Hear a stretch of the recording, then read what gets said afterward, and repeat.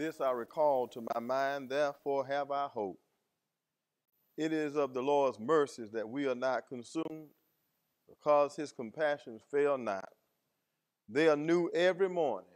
Great is thy faithfulness.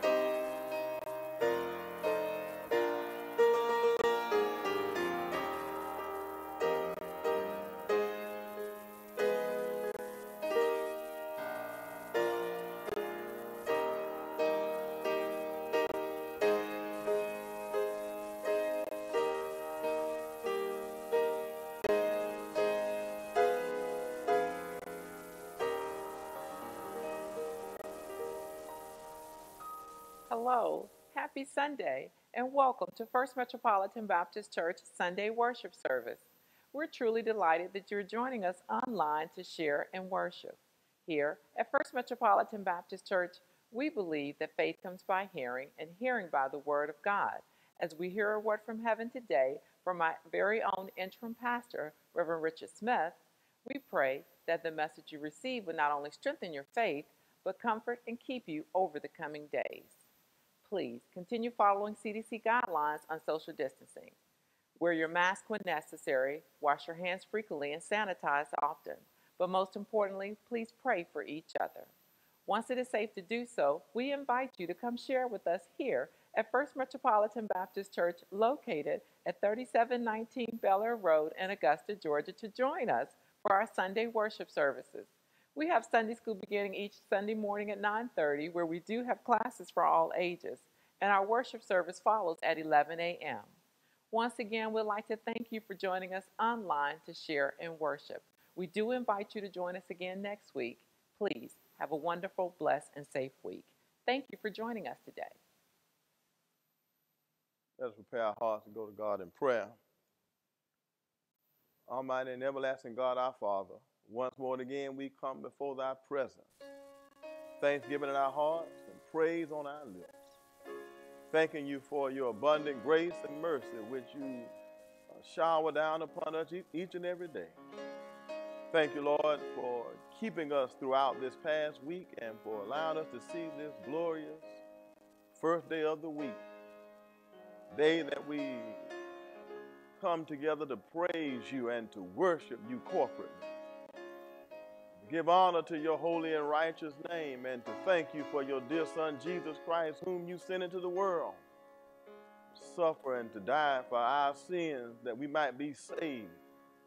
We thank you that you raised him up after three days, and thank you, Lord, that he has ascended to be at your right hand, and that one day he shall come and come back for those who put their trust in him.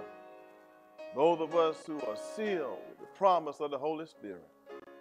Lord, we're so grateful for all of your many blessings. And Lord, we uh, come now asking, Lord, that you will just continue to watch over us day in and day out. Strengthen us and keep us in the midst of uh, this Delta variant, that you will watch over this church family and keep each of us.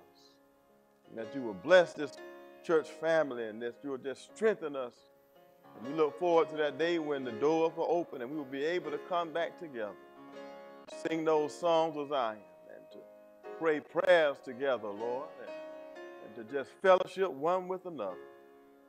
In this house, Lord, we're, we're just grateful, for, Father, and we also ask that, Lord, you continue to bless and strengthen those who have been affected by this virus, those families who've been touched and who have lost loved ones, Lord. And those who are right now in hospitals. And Lord, we just ask that you would just strengthen and strengthen the doctors and the nurses. And Lord, we just pray that you will just bless the Lord, that this nation will be able to come together.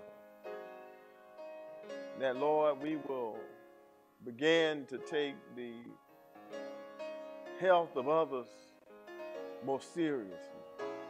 And begin to do those things necessary, Lord, to help us to get through this virus. And uh, Lord, we're asking that you'll just move in such a way that we'll, that this virus will be eradicated, Lord. And, and until that time, just continue to touch and strengthen and keep us in your care. Lord, we pray that you will bless and strengthen children who will be going back to school. You'll protect our children, Lord, and watch over them. And Lord, that you'll bless and watch over teachers and administrators and all school personnel, bus drivers, and whatever capacity they may work, Lord, to educate our children. Lord, we pray that you'll protect and strengthen. And Lord, we pray for those who will be going off to colleges and universities. Lord, cover them and keep them in your care. And Lord, we ask a special blessing upon our children here at First Metropolitan. You'll watch over them, strengthen them, bless them, Lord, that they will take their faith with them each and every day. And Lord, they will honor you. And Lord, that you will bless them, strengthen them, keep them in your care, we pray. Lord, we ask that you'll just bless those who are homeless, those who are in hospitals, nursing homes, and prison, those who are homeless, those who are right now in prison. Lord, we pray that you will strengthen their families. We pray for the body of believers throughout the world that you will bless and strengthen leaders of this nation and other nations, Lord, that we'll be, they'll be able to work together. Lord, we pray, Lord, that you will protect our leaders, that you will strengthen them and give them wisdom to lead and to make decisions that are pleasing in your sight. Now, Lord, I pray that you will bless me, allow me to preach your gospel. Lord, I pray that it will reach and touch the hearts of your people. These and all blessings we ask in the righteous and holy name of your dear Son, our Lord and Savior Jesus Christ. name we pray. Amen.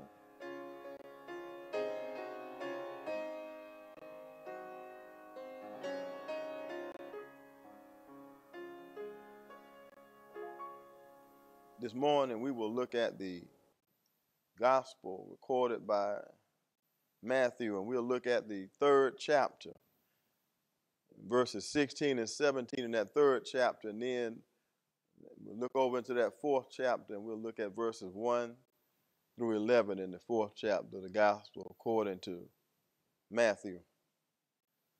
Beginning at verse 16 in chapter 3. And Jesus, when he was baptized, went up straightway out of the water, and lo, the heavens were opened unto him. And he saw the Spirit of God descending like a dove, and lighting upon him. And lo, a voice from heaven saying, This is my beloved Son, in whom I am well pleased. Then, then was Jesus led up of the Spirit into the wilderness to be tempted of the devil. And when he had fasted forty days and forty nights, he was afterward and hungry. When the tempter came to him, he said, Thou be the Son of God, command these stones to be made bread. But he answered and said, It is written, Man shall not live by bread alone, but by every word that proceedeth out of the mouth of God. Then the devil taketh him up into the holy city and setteth him on a pinnacle of the temple, and saith unto him, If thou be the Son of God, cast thyself down, for it is written, He shall give his angels charge concerning thee and in their hands they shall bear thee up, lest at any time thou dash thy foot against a stone. Jesus said unto him, It is written again, Thou shalt not tempt the Lord thy God. Again, the devil taketh him up into an exceeding high mountain, and showeth him all the kingdom of the world and the glory of them, and saith unto him, All these things will I give thee, if thou wilt fall down and worship me. Then saith Jesus unto him, Get thee hence, Satan, for it is written, Thou shalt worship the Lord thy God, and him only shalt thou serve. Then the angel, the devil, leaveth him, and behold, angels came and ministered unto him. The word of God for the people of God. This morning I want to share a word this morning. faith that overcomes temptation. Faith that overcomes temptation. When we uh, look at this passage of scripture, we see that Jesus was baptized, and as he came out of the water, the heavens opened, and the Spirit of God descended upon him, and the voice, a voice from heaven came and said, This is my beloved Son in whom I am well pleased. And then following that, after hearing God the Father say of Jesus, This is my beloved Son in whom I am well pleased, it seemed like he would have watched over him and guided him and kept him from temptation and all manner of evil. But the first thing that happened, we look at verse at chapter 4, verse 1,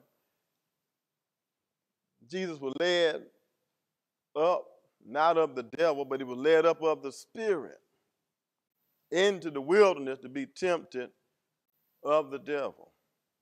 After he had fasted 40 days and 40 nights. And this is this whole passage is a reminder for those of us who are believers. A lot of people come and they um, accept Christ, and there are people who walk away from the church because they say, you know, I, you know, all kind of things began to happen, and I, I just, you know, they, they, you know, the, if, if, the Lord, I, I, I joined, and I thought everything was going to be good, my life was going to be good, my, I won't have any problem with my children, I won't have any struggles in any areas of my life. And then, you know, they, they had a false perception of what it would be like to, to, to be a Christian and to walk this Christian journey in this life that we which we live. But if we look at this passage of scripture, Jesus, whom God the Father said, This is my son, my beloved Son, whom, in whom I am well pleased. If he had to go into the wilderness, led by the Spirit in order to be tested or tempted by the devil, then how, who are we to not have to endure temptation, and troubles in this life. When we look at verse 3, it refers to Satan as the tempter. It, it, it said that when the tempter came, so when Satan arrived, he came questioning who Jesus was. He said, If thou be the Son of God, command these stones be made bread. He knew Jesus had fasted for 40 days and nights, and, and, and so he, he tempted Jesus at his physical point of need. He was hungry and needed nourishment. And So Satan questioned who he was. Then he proceeded to tempt Jesus at his point of physical need. But I want you to notice Jesus did not even bother to address the fact that Satan had questioned his place as the Son of God. He did not allow himself to be drawn into a test of wills with the devil. He did not take him up on his challenge to command stones to be made bread, Jesus simply referred Satan to Scripture. Jesus displayed for us the importance of knowing Scripture. And more importantly, understanding Scripture and how to apply it rightly and to live accordingly. The tempter knows what tools to bring to the battle. So it's important that you and I know that our weaponry is the Word of God. And therefore, we must understand it and we must be able to use it properly.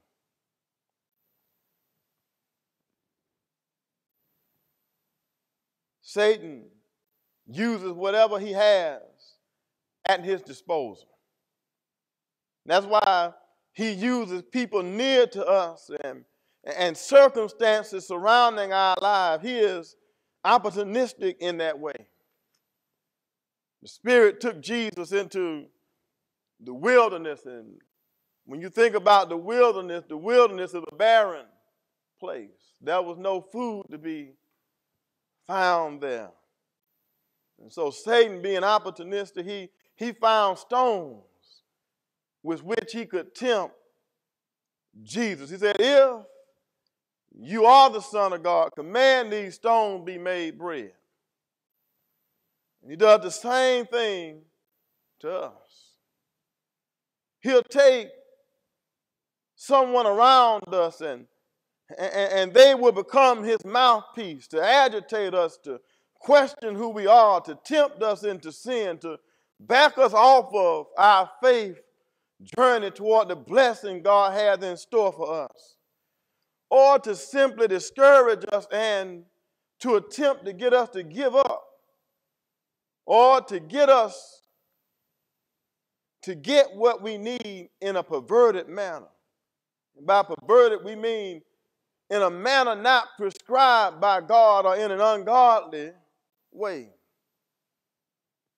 And so do not pervert your way or who you are to prove something to others. That's the point I want to make. So that, that do not pervert your way or who you are to prove something to others.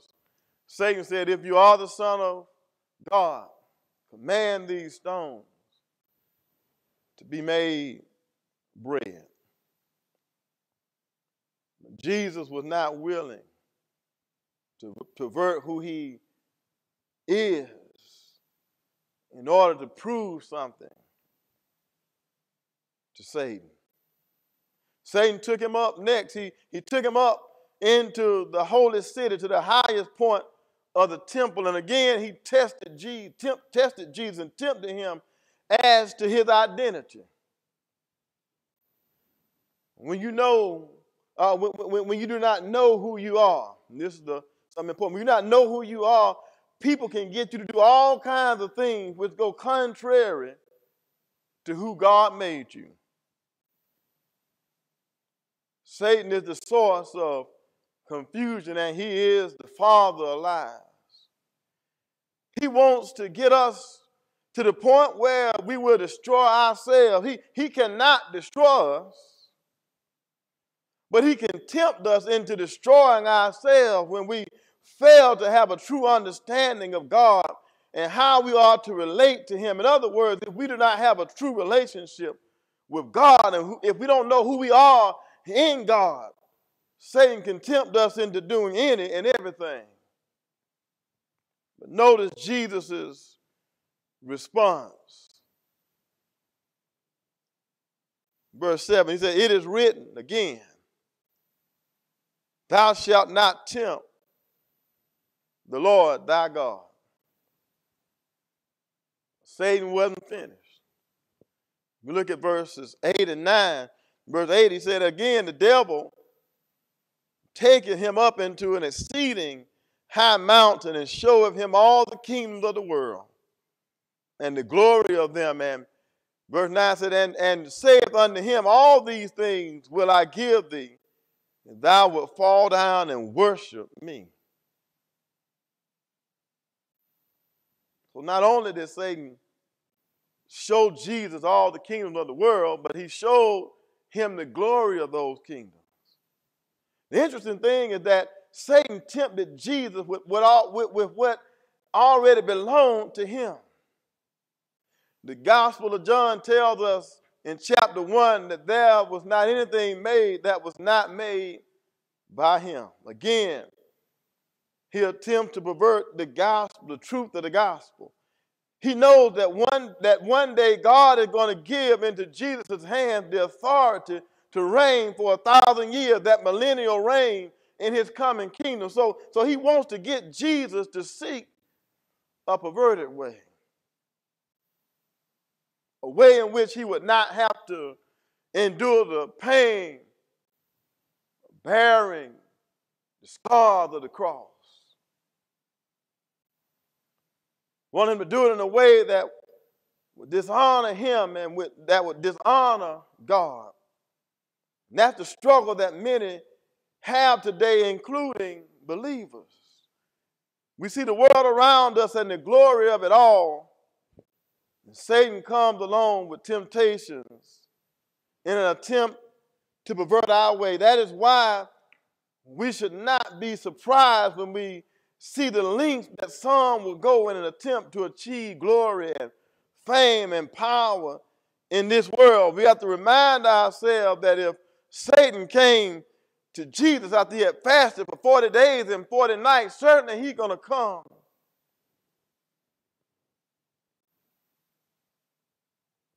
Those of us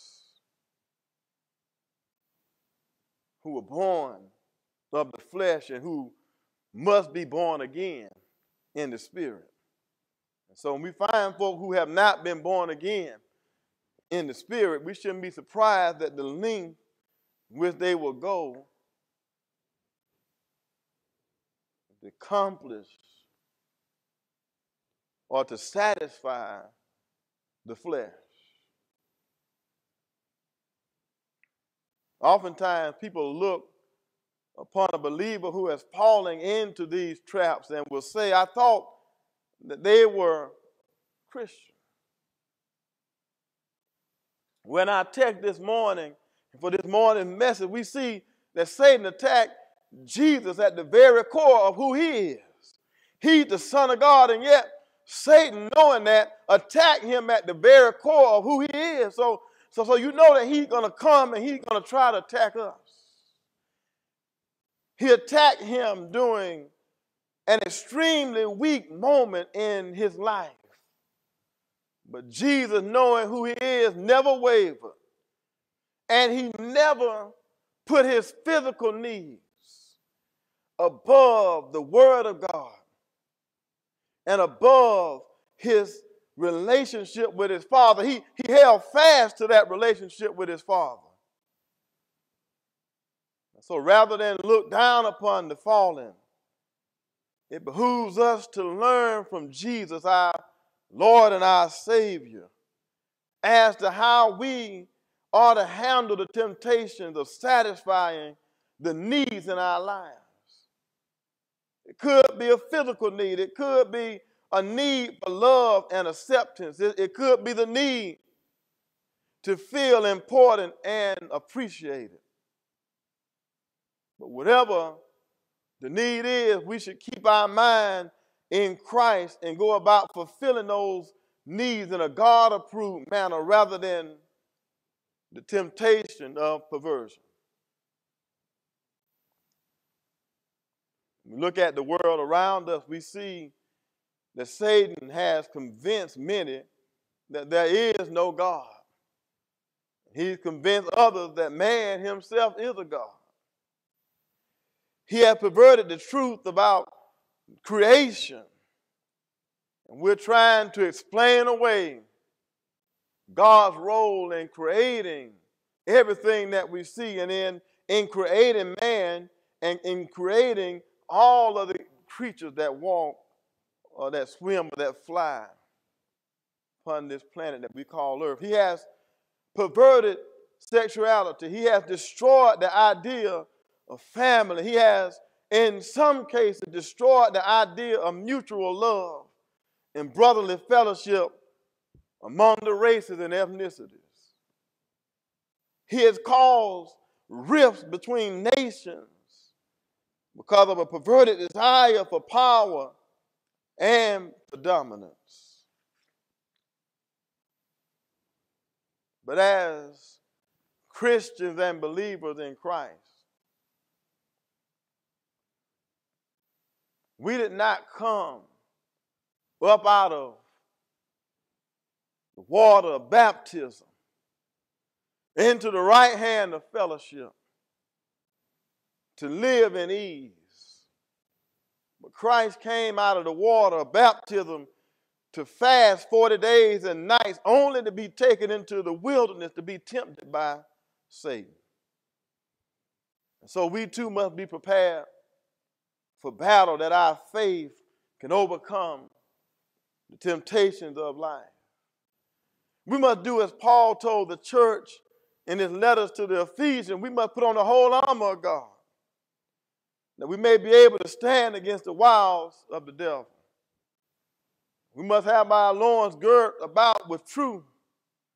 We must put on the breastplate of righteousness and have our feet sharp with the preparation of the gospel of peace. And if we can hold on to our faith and keep our trust in God and keep our hands in God's hand, and if we can understand and know that I don't have to yield to temptation, but in my faith I can overcome what the enemy is putting in my path. If we can understand those things, God, if we look at our text, He He, he showed up. The, the, the, the Bible says then, verse 11, then the devil leaveth him.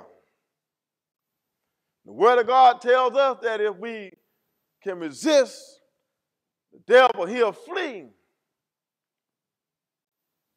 Verse 11, the devil left Jesus after Jesus held on to who he was, to who he is, and he held on to his relationship with God the Father, and, and he understood, yes, I could have all of these things, but but but but, but what he what, what he said was, I, I know what I can have,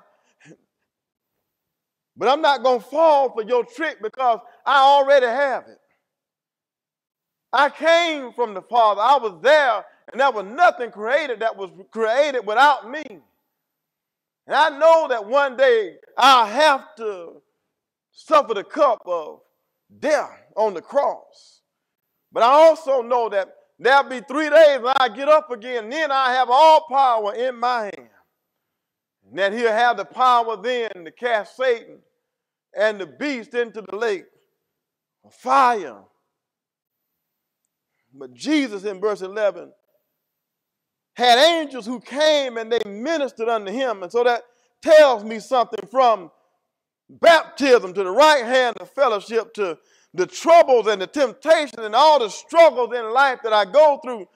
If I can resist, the devil will flee. And not only will he flee, but God will send angels to minister to my need.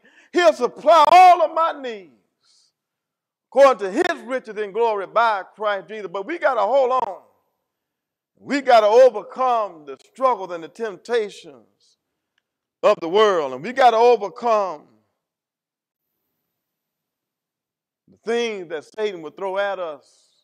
And I said earlier, he knows who to use and how to use them, and what circumstances to use, and sometimes not always other people. It can be our, we can be our own worst enemy when we begin to doubt God and we begin to be afraid to move in what God is trying to get us to move in. And so we begin to talk ourselves out of blessing that God has for us because we see the struggle and the trouble. But God knows that if we can resist the temptation and the fear and to walk in what God, that path that God has prepared for us, He already knows that we can hold on to our faith. He has something better on the other side. How many of us have gone through some things? And it seemed like, our Lord, I'm praying, but nothing is happening. And at every turn, Satan is giving me trouble on every side. Same thing happened in our text my, my beloved son, my beloved son, in whom I am well pleased, but yet he had to go through a wilderness experience. And he had to go through a period of being tempted and being challenged about who he is in God. And yet he held on because he knew God, he knew the word of God. And he put the devil on the run because he was able to stay grounded and rooted in the Word and to use the Word to overcome the enemy. And angels came and ministered to, to him. So for us, by faith, let us overcome the temptations and the evil that's thrown at us by, the, by Satan on a regular basis and know that when we come through this, God will send angels to minister to us and to strengthen us and to encourage us on this journey. And there's going to come a day when the trump shall sound, the dead in Christ shall rise, and those that are still here on earth will be caught up to meet him in the air, and we'll be there on that day when he sentences Satan and all of his little demons and all of those who refuse to accept Jesus Christ will be there witnessing with Jesus as he wins the final battle. Will you bow your head? Everlasting God, our Father, help us to overcome the temptation, the struggles, the agitation, the discouragement that we have to deal with on a regular basis living in this world. A world that has rejected Jesus. And a world that seeks to wrestle control from you. Strengthen us, Lord. Keep us day by day.